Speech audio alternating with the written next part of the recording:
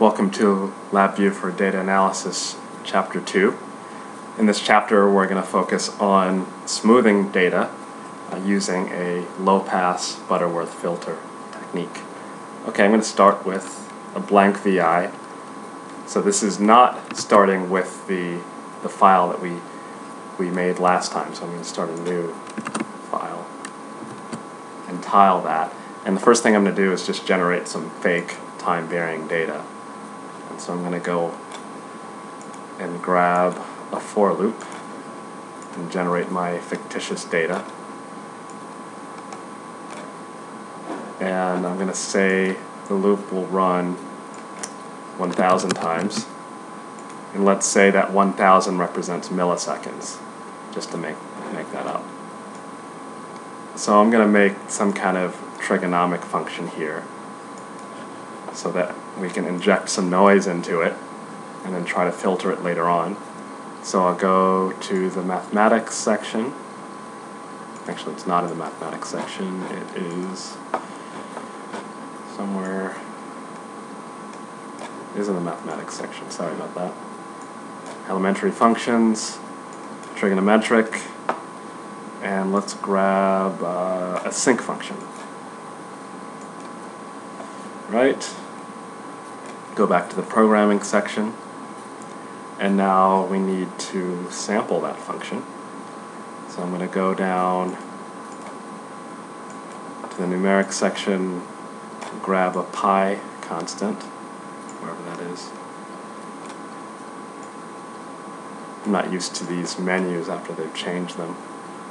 Okay, put that pi up there, 2 pi up there, and then go grab a division from the numeric palette. Now we're going to divide this 2 pi by our 1,000 samples. So I think of this as maybe 1,000 milliseconds within, within one sample. It'll give us one cycle of this function. So now what I'm going to do is grab a multiply, multiply our iterator by this time constant here, and connect that up with our sinc function.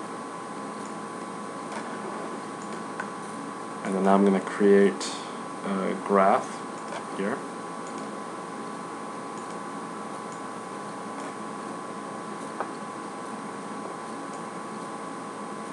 and then the output should just be one cycle of this function.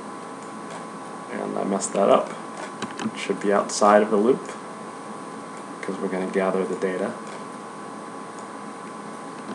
So just connect that to the inner end of the tunnel, and the outer end of the tunnel goes to the graph. We press play, and we get our function. It looks like that. So now what I'm going to do is inject some fake noise into this. So what I'll do is I'll go back to my menu and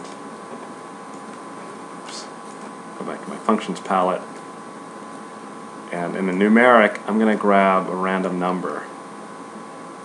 So that's in the numeric palette, it's random number generator and that just generates a random number between 0 and 1 for each loop iteration. So now I'm going to multiply that to some constant value. And let's just use that as a constant value of 1. So this is random number going between 0 and 1 for each loop iteration. And I'm going to add this noise, this random noise, to our, our sinc function. Whatever function this is. Could be anything. adding the noise.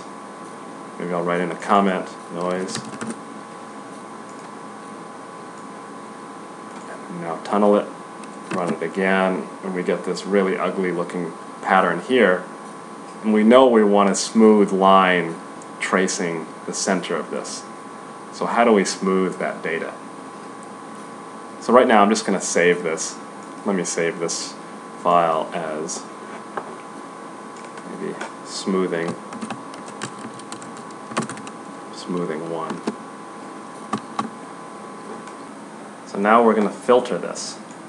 And what I'm going to do to make a smoothing filter, I'll just grab a Butterworth filter. So that's in the signal processing section under filters, Butterworth filter. All right. Now, hopefully this will work. And actually, I know beforehand that this is not going to work completely because there's a little trick involved. Because these filters depend on what data type you have, how well they work. Okay, so what I'm going to do is wire up this filter. It needs, as an input, that time varying data. It also needs to know your sampling frequency. If you don't wire it, it'll just assume it's 1 or something like that. We know our sampling frequency is 1000. That's just our ficti fictitious sampling frequency is 1000 hertz. So now I'm going to go up here under the filter type, right click, create constant, and then just keep it as a low pass filter, the default. So now I've wired everything up, and this is a low pass filter. In other words, it lets low frequencies pass and it ignores the high frequencies. So we want our low cutoff frequency to be something. So I'll do a control here. It's a low cutoff frequency. The high cutoff frequency is only relevant for high pass or band pass filters, for example. So remember, we're in millisecond time scale here. So this is one seconds. So this noise is happening at a very high frequency, very high hertz. So let's just say we want to cut everything out above 20 hertz. 20 hertz will be our cutoff. So let me see what this looks like. It looks terrible. We see we wanted a smooth line running down because that was our original function. Maybe I'll just add another graph so we can see what our original function looks like just for comparison. So I'm just going to copy this graph.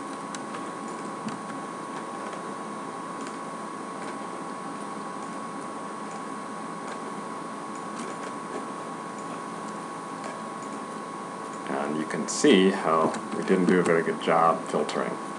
We want to start around 1.5 and smoothly go down, but instead we get this, this filtering artifact here. So that's it for this tutorial. Just come back for part two.